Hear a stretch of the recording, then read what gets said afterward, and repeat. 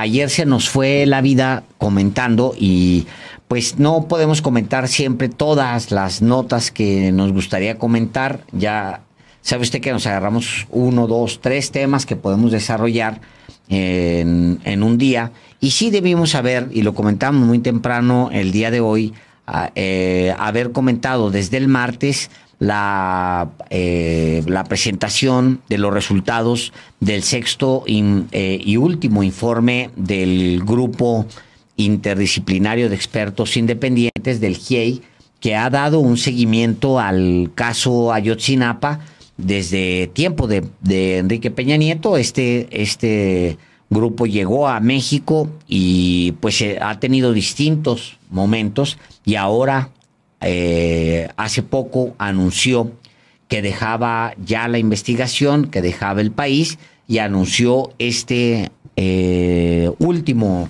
documento, el sexto informe que se presentó el martes, el martes 25, el martes pasado, Álvaro. Sí, efectivamente, es el sexto informe del comité, del, pues del GIEI, eh, este grupo de interdisciplinario de expertos independientes que ha hecho sin duda aportaciones fundamentales para el esclarecimiento de la desaparición de los 43 jóvenes normalistas de Ayotzinapa.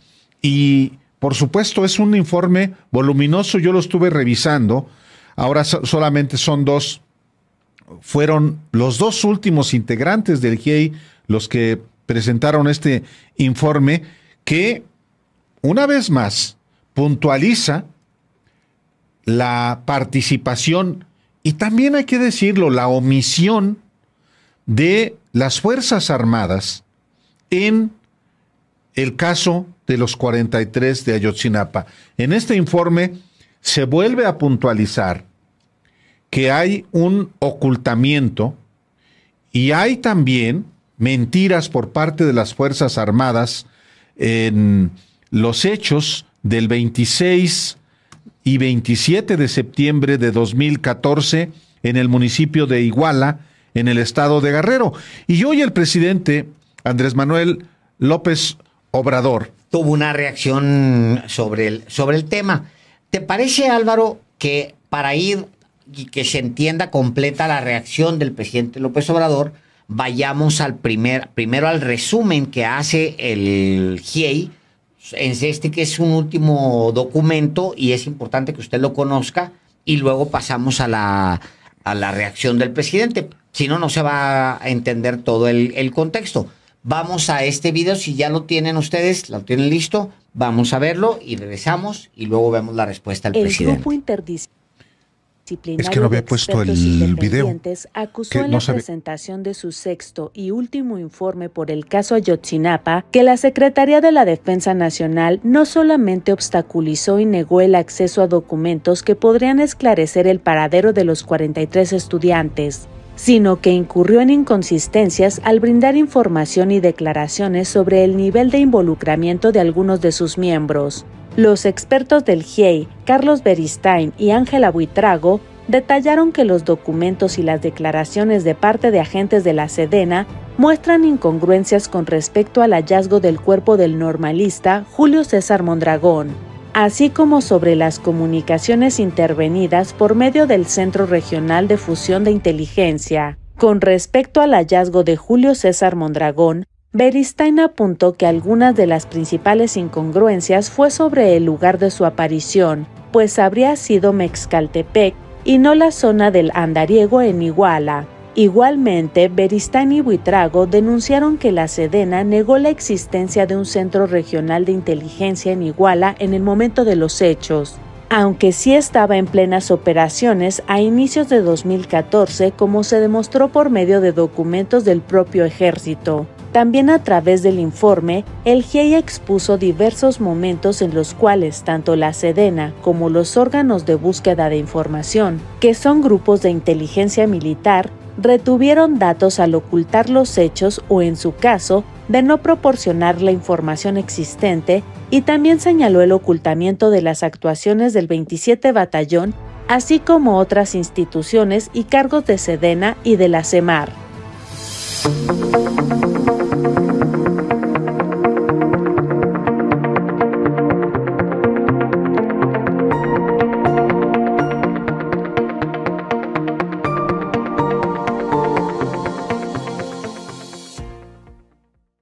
Justamente el presidente Andrés Manuel López Obrador se refirió hoy al informe del GIEI y dijo que respeta, pero no comparte las conclusiones de este eh, organismo.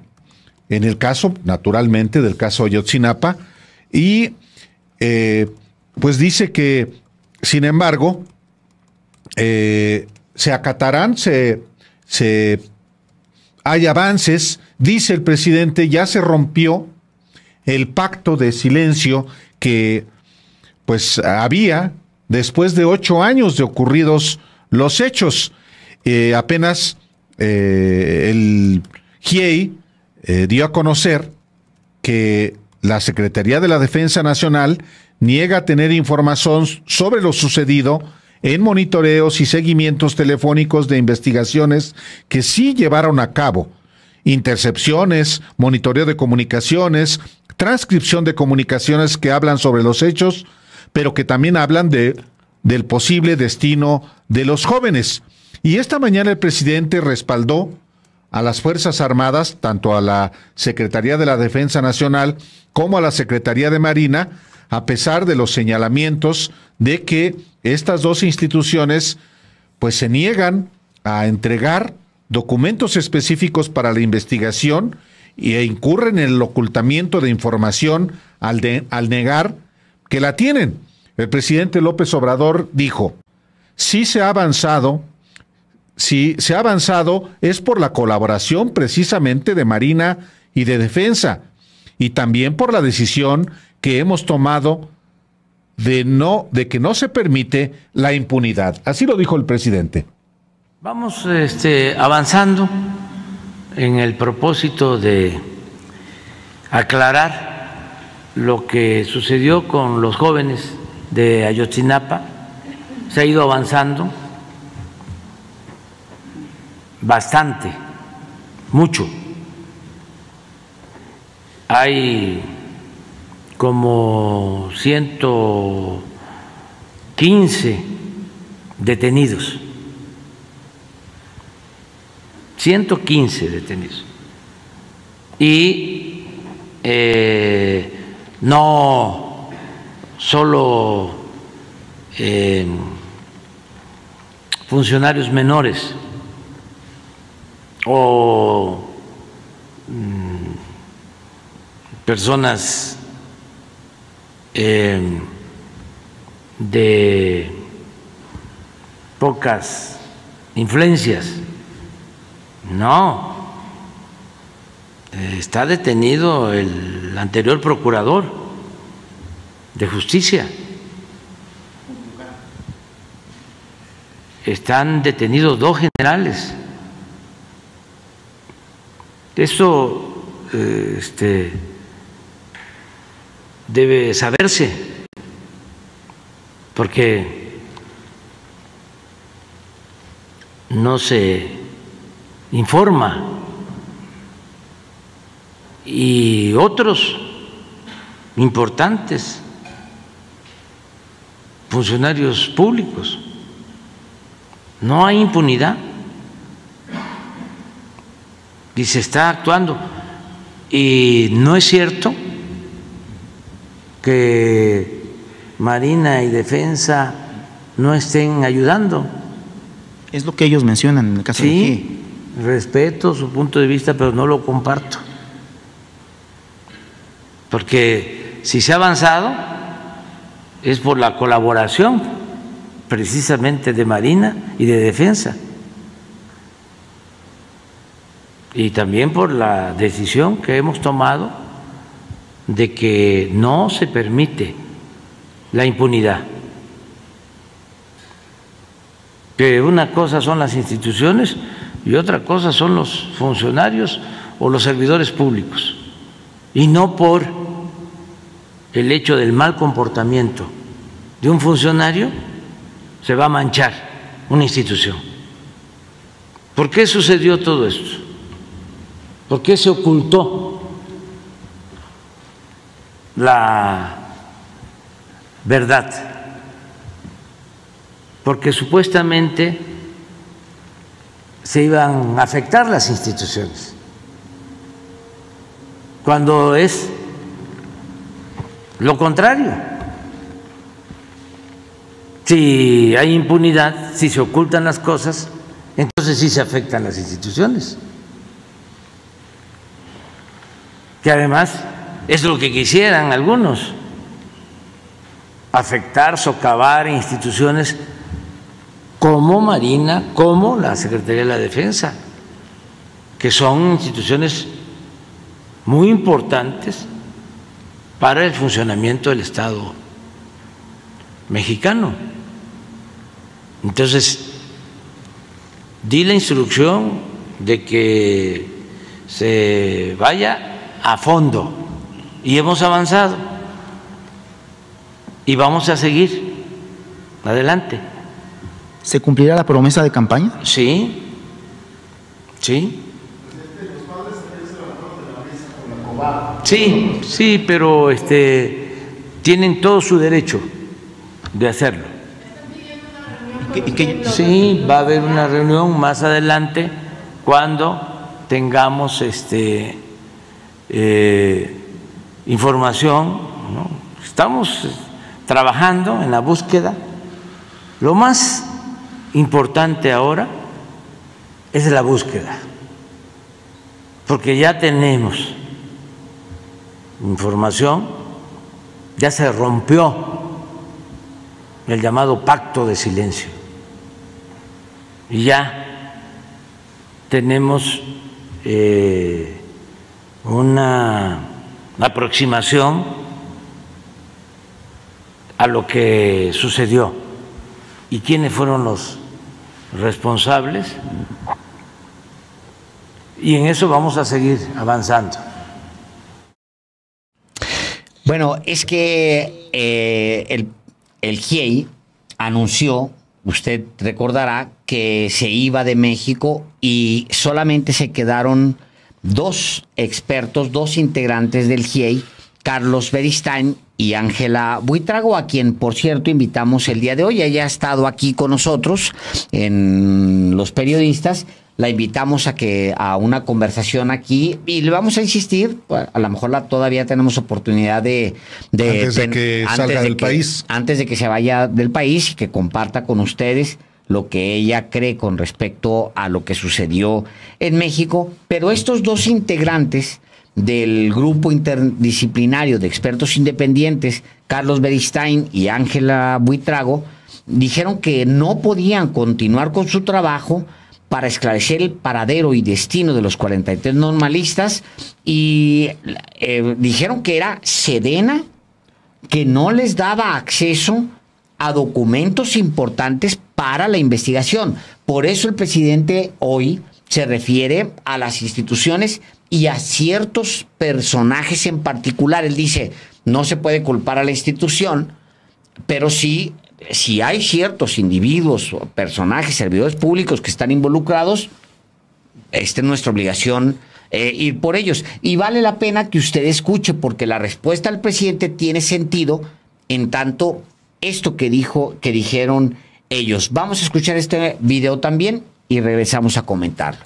Los dos integrantes que restan del grupo interdisciplinario de expertos independientes, Carlos Beristain y Ángela Buitrago, lamentaron que no pudieran continuar su trabajo en el esclarecimiento del paradero y destino de los 43 normalistas de Ayotzinapa que desaparecieron el 26 de septiembre de 2014 en Iguala Guerrero, debido a la falta de transparencia de la Secretaría de la Defensa Nacional para acceder a documentos importantes para la investigación. A la par, aseguraron que la documentación analizada no muestra una colusión entre los estudiantes de la escuela rural Raúl Isidro Burgos y grupos criminales, y por el contrario sí da cuenta de una complicidad entre autoridades de los municipios de Cocula e Iguala, integrantes del ejército y mandos policiales junto con estas células del narcotráfico en Guerrero. Así lo dieron a conocer este martes en la presentación de su sexto informe por el caso de los 43 normalistas desaparecidos de Ayotzinapa. Se trata de su último reporte antes de retirarse de México y después de ocho años de trabajo, mismos que fueron marcados por irregularidades por parte de las autoridades federales y falta de compromiso para acceder a registros militares que darían luz a los hechos ocurridos entre el 26 y 27 de septiembre de 2014. La mañana del martes, el presidente Andrés Manuel López Obrador informó que ayer se reunió con los dos integrantes del GIEI para agradecerles el trabajo realizado con la finalidad de esclarecer el caso Ayotzinapa. López Obrador aseguró que su gobierno va a continuar con la investigación, en la que se ha avanzado mucho. En respuesta a las declaraciones del presidente Andrés Manuel López Obrador, Beristain aseguró que compartieron toda la información con su administración y demandaron en diversas ocasiones acceso a información de la Sedena de la cual el GIEI sabe que existe, pero ante la obstaculización han decidido retirarse. En la presentación de los nexos de comunicación que se produjeron entre el C4 y elementos de la policía, tanto federal, ministerial, estatal y municipal de diversas demarcaciones, así como militares, los integrantes del GIEI remarcaron que esto demuestra el involucramiento de las distintas corporaciones en la desaparición de los 43 estudiantes. Todo esto se ha ocultado, se ha omitido y falta mucha información sobre los hechos. Sumó Beristain. Dijo además que hay personas de instituciones con alto rango que ya fueron identificadas, si bien no son nombradas en el informe por tratarse de una investigación judicial en curso.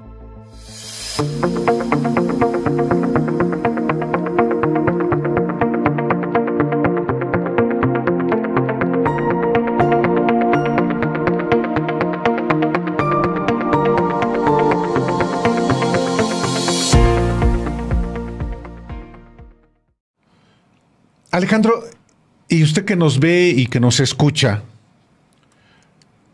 sin duda el caso de la desaparición de los 43 jóvenes sigue siendo, hasta el día de hoy, eh, pues ocho años después, casi nueve años después, una de las de los compromisos todavía no cumplidos a cabalidad por el presidente Andrés Manuel López Obrador.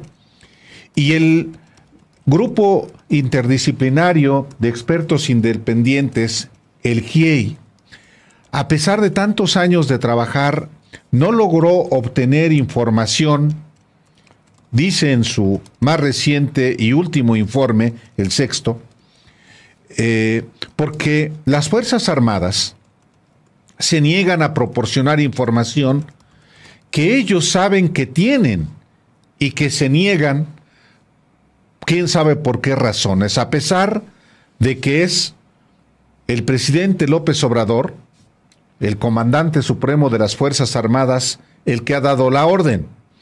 Yo tuve ya oportunidad de leer parte del informe, en particular el que tiene que ver con los militares. Y se ha aprobado cómo no solamente hubo presencia de elementos militares en la noche de Iguala del 26, la noche del 26 de septiembre, y la madrugada del 27 de septiembre en Iguala, en lugares donde hubo detención, donde hubo también asesinato y también agresiones a los estudiantes, las detenciones y el traslado.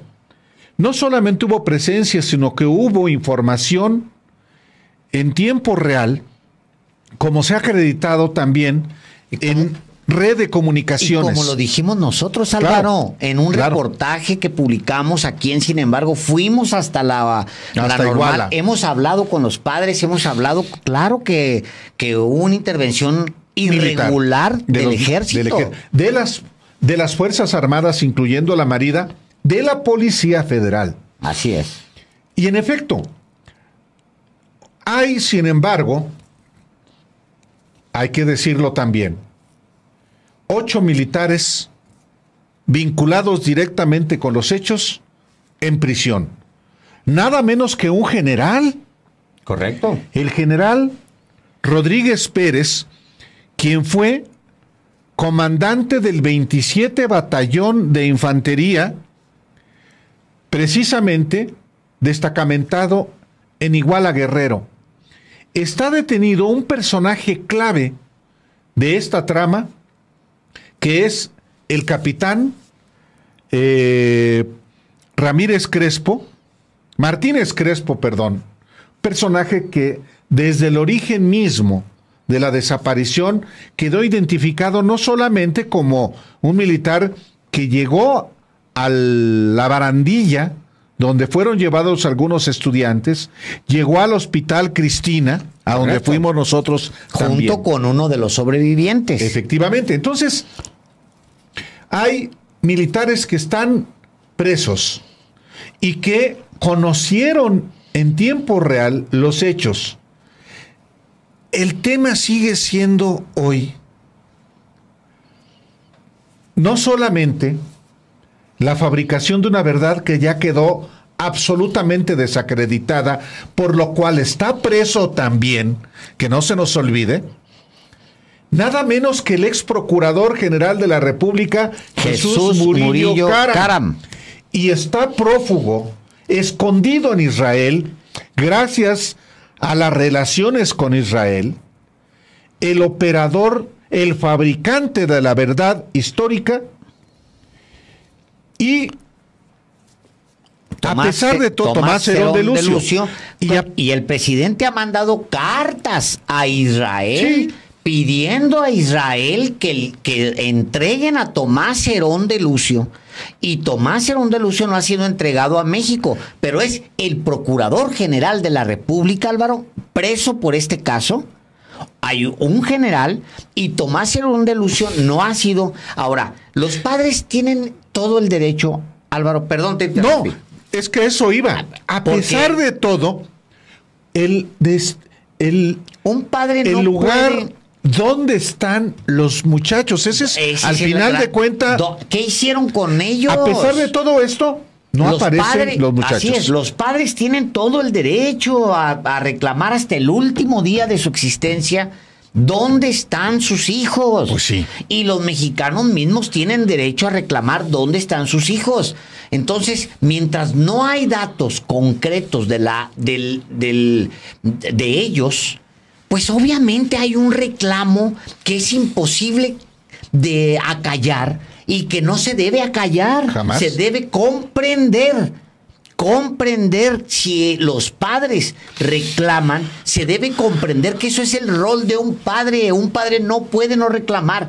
Le, dice, y busquen ustedes el texto que publica nuestra compañera Tamara Mares en sin embargo, punto MX que se llama Padres de los 43 lamentan que el GIEI se vaya sin haber hallado a sus hijos, porque ahí vienen las declaraciones de los padres. Tamara habla con Mario González, padre de César Manuel, desaparecido, y dice lo siguiente, la verdad la podríamos tener en este informe. Decirle al presidente que nos surge una reunión con él y decirle que no se vale jugar con los 43 padres y los compañeros del GIEI que nos apoyan. Si el presidente no nos da la apertura para que Sedena y Marina nos entreguen los expedientes, ¿quién más podría si la máxima autoridad y el jefe supremo de las Fuerzas Armadas es el presidente? El mensaje es muy claro y es el mensaje de un padre, es el mensaje de un de alguien que fue víctima de una acción de Estado donde, donde desaparecieron estudiantes, la acción, acciones de Estado que se repitieron durante todo el siglo XX en contra de población civil y en contra de los más pobres. En Guerrero sucedió una y otra vez desaparición de jóvenes, desaparición de padres, desaparición de ancianos, violación de mujeres. Aquí lo hemos contado una y otra vez, un padre tiene hasta el último momento que gritar dónde están mis hijos. Se tiene que entender, se tiene que comprender. Ahora, de que se tenga que comprender a que esté paralizado el gobierno, pues no es Peña, tampoco es el gobierno de Peña, Álvaro. O sea, está detenido la máxima figura de la verdad histórica, la máxima, que es el procurador Murillo Caram. Ese hombre está en la cárcel, en este momento está en la cárcel. O sea, Tomás Herón de Lucio se escapó por la podredumbre en el poder, este, en la, en la Procuraduría, porque se enteró antes de que saliera la, se librara la, orden de aprehensión, se, se enteró a la, Tomás Herón de Lucio y, y, por, por todas las conexiones que Tomás Herón de Lucio tiene con los creadores del, de esa herramienta perversa que se llama Pegasus, por eso es que estos que recibieron tantos contratos del gobierno de México en tiempos de Peña y de Calderón, entonces agarraron a este personaje que es el que extendía los contratos a Tomás Herón de Lucio, lo sacaron creo vía Canadá, de Canadá a, a Israel y allá está escondido, pasándola muy bien con un montón de abogados y no hay una este, manera de traérselo porque eh, Israel no tiene un tratado de extradición con México y con muchos países para, para mantener a sus ciudadanos ahí protegidos. Entonces, no es que tampoco, no hay que entender que los padres no van a renunciar, nunca. Yo no lo haría, Álvaro. Pues no. tienen, este, eh, son, eran muchachitos, se los llevaron gente eh, criminales se los llevaron, y criminales dentro del Estado y fuera del Estado, se los llevaron, los torturaron, ¿qué hicieron con ellos? No sabemos.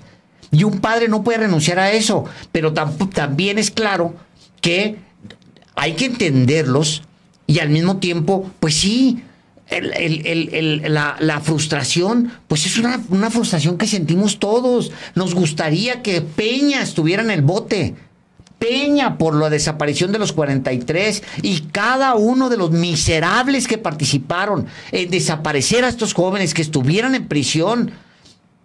Ahí están las limitaciones. Sí, por supuesto hay un compromiso nada menos que presidencial. Y para eso se creó la Comisión de la Verdad. Y para eso también se le dio la instrucción directísima a las Fuerzas Armadas, al Ejército y a la Marina, que escamotean información. Así son los ejércitos en todo el mundo y en México, pero no hay que permitir que lo sigan siendo. Así es. De la misma manera que hay que exigir que, por supuesto, la información que está en poder de las Fuerzas Armadas y que conduce a Alejandro es que también es parte de las resistencias. El ejército supo desde el principio de la llegada de los jóvenes normalistas a Iguala y supo en tiempo real qué fue lo que pasó esa noche y también dónde están. Eso también es importante. ¿Por qué no lo dicen? Bueno, y hay un general del ejército detenido. Hay otros ocho, entre oficiales y tropa, detenidos. Hay un procurador que se encargó de desvanecer, de ocultar, inclusive a través de la tortura, de esta aberración que a muchos les parece un chiste o una graciosada y que dicen, ¿cómo es posible que a Murillo Karam lo castiguen? Pues si él autorizó la tortura, él estaba al frente de la investigación para construir una verdad mentirosa, como fue la verdad de la noche de Cocula, de la, la pira en el basurero de Cocula. Entonces, no hay que dejar de respaldar pues a los padres que quieren encontrar a sus hijos y exigir a la autoridad, no solamente a la Comisión de la Verdad que encabeza Alejandro Encinas, sino a las Fuerzas Armadas y también a la Fiscalía General de la República, que es la institución encargada de esclarecer y de castigar este crimen, crimen de Estado ya acreditado por la intervención de tantísimos elementos del Estado mexicano. Entonces, pues sí, esta, este último informe, Alejandro, detalla no solamente la actuación de, de, de las circunstancias en las que se dio la desaparición, la represión y, la, y el papel que tuvieron el ejército, el CISEN, la policía municipal y los grupos criminales, de una manera muy, muy detallada.